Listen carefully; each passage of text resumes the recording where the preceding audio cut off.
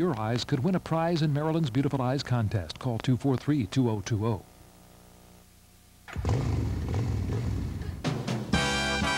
Live from the NBC studios in Burbank, California, The Tonight Show with Jay Leno. Featuring Branford Marsalis and The Tonight Show Band. Tonight, Jay welcomes Billy Crystal. The music of Shanice. And economic correspondent Robert Krulwich. I'm Ed Hall. And now, Jay Leno.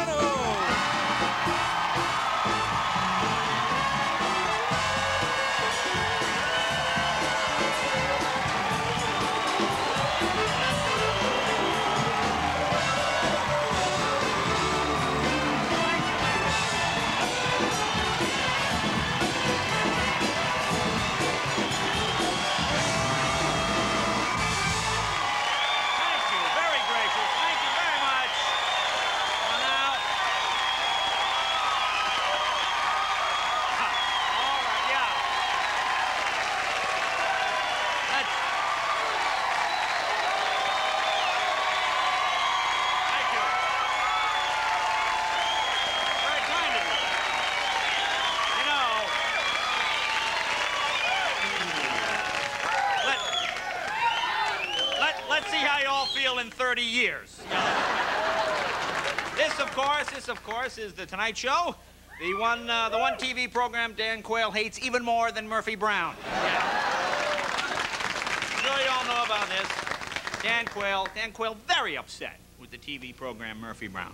He says the idea of Murphy Brown giving birth as a single parent is damaging to the morals of our youth. Well, I think that's unfair, huh? I mean, I don't see him criticizing Porky Pig and Donald Duck for running around all those years with no pants on, huh? Sure, how about that?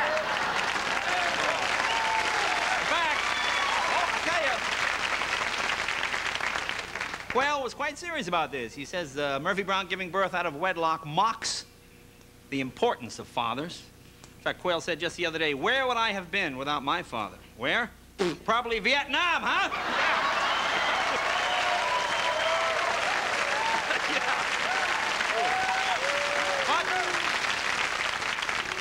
there's one thing you can say about Murphy Brown you can't say for sure about Dan Quayle. At least we know she'll be back in the fall. Yeah, so that's pretty much.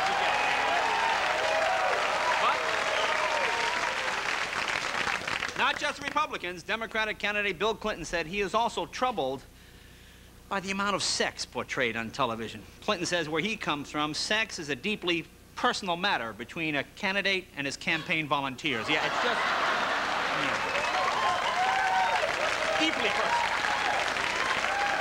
But You know, so- you know something? You know, the most annoying thing about this campaign is we still don't know where the candidates stand on the issues. I mean, all we know for sure is that Ross Perot hasn't said anything, Bush hasn't done anything, and Clinton hasn't inhaled anything. That's all we know.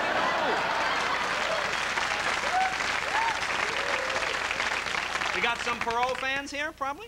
Well, the latest, the latest polls show Ross Perot is ahead of all the other candidates. You know, it seems the less Perot says, the more popular he gets. This is a point Dan Quayle has yet to grasp. Don't say anything. But, but enough about the candidates. Have a lot of out-of-towners here? Folks came from out of town? All over the place. Let me be the first to welcome you to Los Angeles, or as President Bush calls it, Operation Desert Storm, the home game.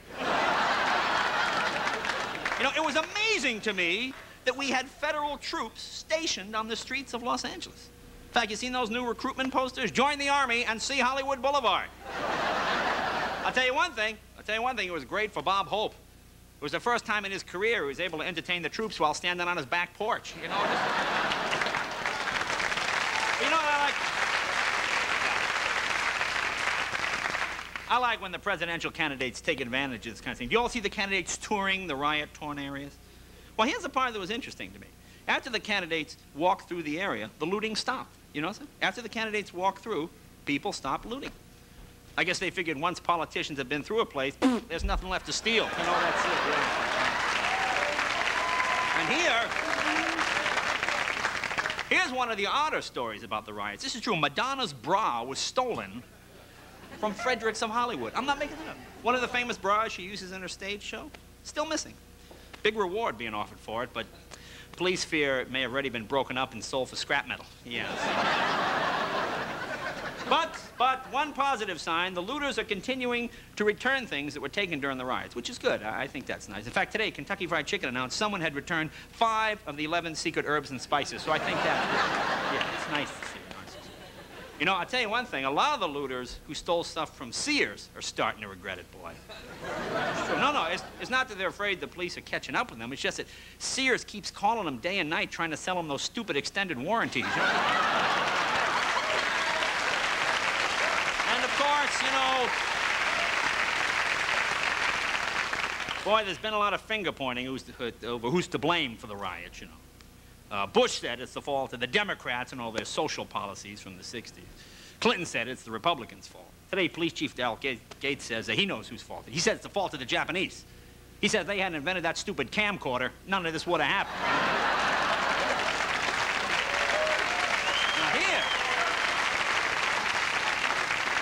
here's an interesting item. Medical researchers at the University of California have developed a new heart attack resuscitation device that uses a common toilet plunger. I'm not making it up. It's in the paper today. It uses a toilet plunger to resuscitate people that have had a heart attack. That's great, huh? As if doctors aren't expensive enough. Now I gotta call a plumber, too? and last but not least, in Texas, it turns out those bees that stung the man to death, you read about that? They were not killer bees after all. They weren't killer bees. Turns out they were just ordinary honeybees that were really upset over the Rodney King verdict. Yeah. anyway. We have a good show. Billy Crystal is here. The music of Shanice. And Robert Krulwich, economist Robert Krulwich. Now, ladies and gentlemen, now before we get on with the show, I'd like to take this moment to tell you all about a special, special cause that we here at The Tonight Show hold near and dear to our hearts. Please take a look at the monitors right here.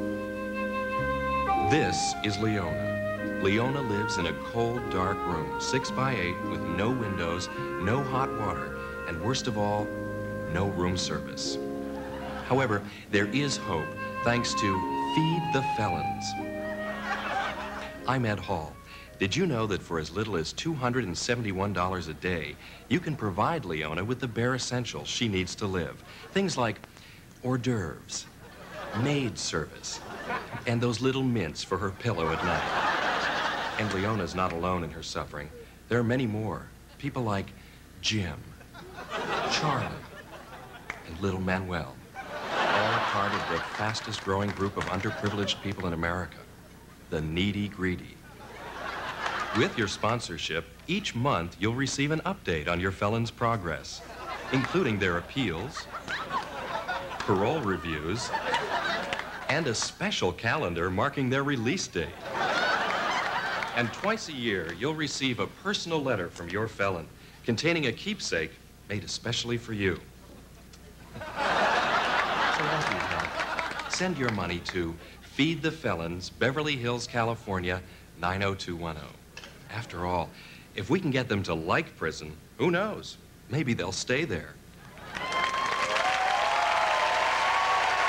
Welcome back. You know,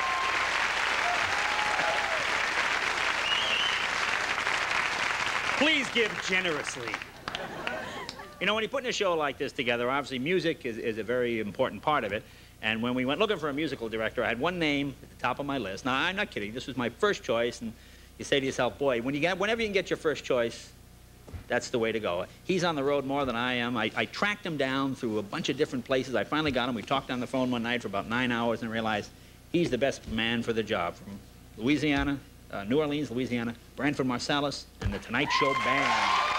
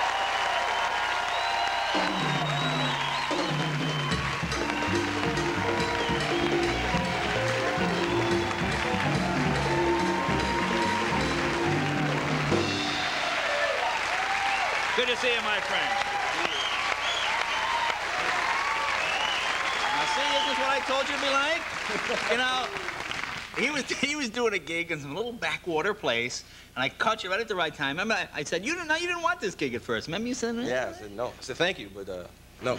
Yeah. And uh, I went back to the guys in the group, and I said, uh, funny thing, you know, funny thing happened. Uh, Jay Leno called and said, you know, he wanted us to be uh, the band at the Tonight Show. He said, what'd you say? I said, I told him no. And he said, are you crazy? Tell him yes. Call him back and tell him yes. I called him back, said, called you back, said, yeah. Yeah, well, this is good. When I told you you could do the kind of music you want to do, sounds good to me. That was it. Now, we should explain. People get asking, this is not a Beltone miracle ear in the side of your head, is there? That's what, Oh, we, yes. that's what we use to communicate with the guys. What? What did he say? what did he No, it's, uh, basically I have to be in communication with the booth for those Yeah. of you who don't know. So uh, while we're playing the music and, you know, it's like you hear lovely things like, 15 seconds, five seconds, stop, shut up, don't play. So that's what this is. Well, explain. uh, introduce us to the band. Okay. What? 15 seconds? Oh, okay. So I'm going to introduce the band. Okay. From El Paso, Texas, Mr. Sal Marquez. Sal Marquez. On the trumpet. Kind of the Hispanic Jay Leno looking guy. And on the trombone, from Livermore, California, Matt Finders. Now, Matt has, some, Matt has something he wants to show us. Matt. Now, you- you said you had a surprise for me. What do you got? My daughter made this. Oh. Oh, is that, That's great. is that supposed to be me? That's you. Very talented young woman you have there. Good, good, good. All right. And on the bass from Detroit, Michigan, Mm-hmm. Mr. Robert Hurst III. Robert Hurst III. All right, see, that's... Apparently, he was our third choice. First and second were not available. And on the drums from Pittsburgh, PA, Mr. Jeff Tain Ah, Watts. yes. I think we, uh, we picked him right off Liberty Avenue for this job, didn't we? Near the Big O, right? People know, yeah, they're the big O. and from Philadelphia, Pennsylvania, Mr. Kevin Eubanks. Kevin Eubanks. A lot of people I know Kevin is the son of Bob Eubanks from the dating game, right? They look a lot alike, too. And on the piano from Brooklyn, New York, Mr. Oh, I heard of David that, yeah. Kirkland. Kenny Kirkland, yeah. And of course, Last and certainly not least. and our most attractive band member. Absolutely. From San Francisco, California, Vicki Randle. Yeah.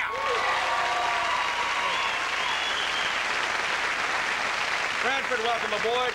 Good to be here again. Be right back right after this. Branford Marcel. The Tonight Show will return with our first guest, Billy Crystal.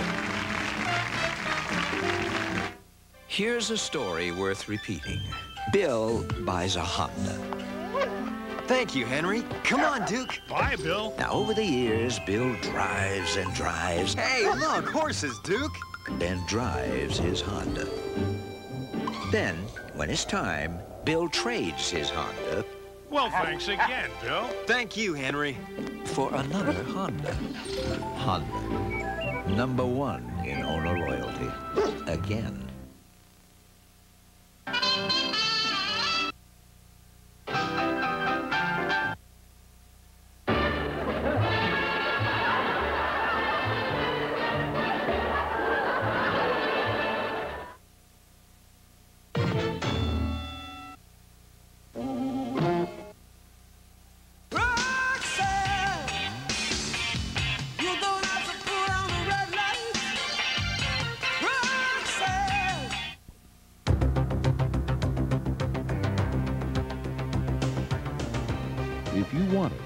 You have to work for it. And Callie is working to make Baltimore the city that reads. And you can help him by pledging money for each home run he hits this season. You'll be helping to guarantee a brighter future for Baltimoreans who are learning to read. So join Cal's team, Reading, Runs, and Ripken. For more information, call 576-READ. Why use these hazardous waste products around your home when simple, non-toxic alternatives can do a great cleaning job? From News Channel 2, Project Environment tip number four. The next time you clean your windows, use a mixture of white vinegar and water. It works great. And try a reusable rag instead of paper towels. It's good for your pocketbook, and it's good for the planet, too. This Project Environment tip was brought to you by News Channel 2. Friends you can turn to.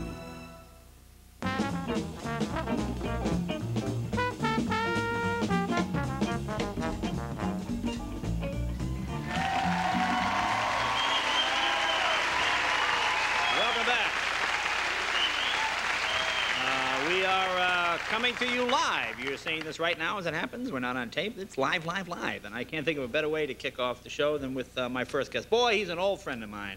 Popular actor, terrific comedian, and his new movie, Mr. Saturday Night, opens later this year. Please welcome Billy Crystal.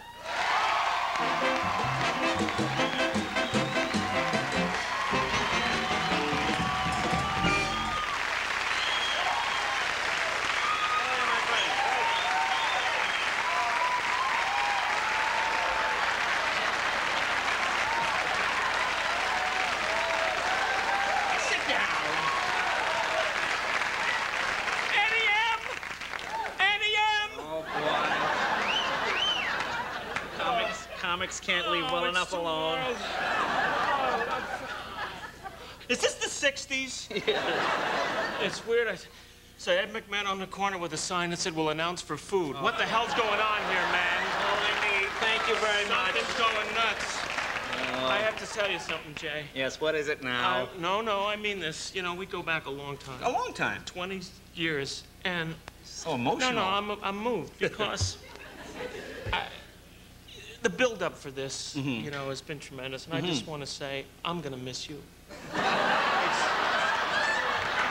It's just, you know, I, I and I felt so bad about this that, you know. What do you have there? well, it's a little thing. Last week, you know. Why do I think I should go to commercial right now? No, no, I, What is this? What stay with do? me. Uh, last week, I saw Bette Midler sing this song too. And no, I, you know, we know each other a long time, so just Ah. just trust me. I was so inspired by what. What, you gonna sing No, no, I mean, I was so inspired by what she did that I decided to rip it off. And Bet, if you're watching, Jay, this is for you. This is for after 20 years. Oh, I see. Thank you. Dear Mr. Leno, I am writing this to you, and I hope that you will read it so you'll know. Don't get me in trouble. Go ahead. My heart beats like a hammer, and I stutter and I stammer, cause you're now the new host of The Tonight Show. I guess I'm just another fan of yours, and I thought I'd write to tell you so. You made me first guest. I didn't want to do it. My agent really blew it. I like your set, but that picture of the sea now, it makes me want to pee now. The movie I just made don't come out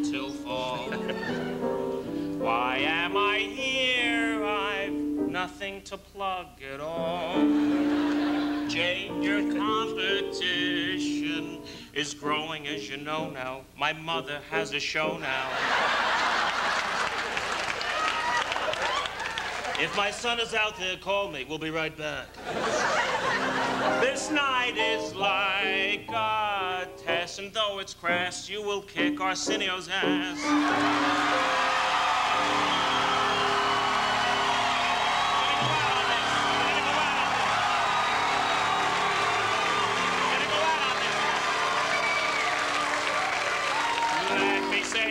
Your jokes are just as funny. Hope G is paying you half of Johnny's money. I'm proud to be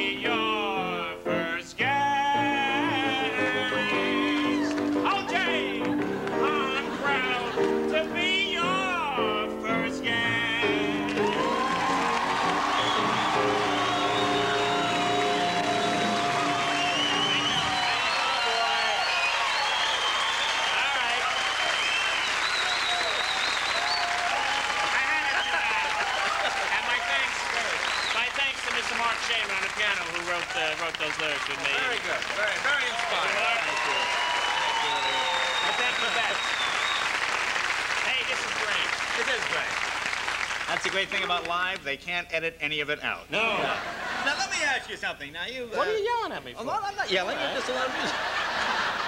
You got the job? You know, you're acting like you're acting like your co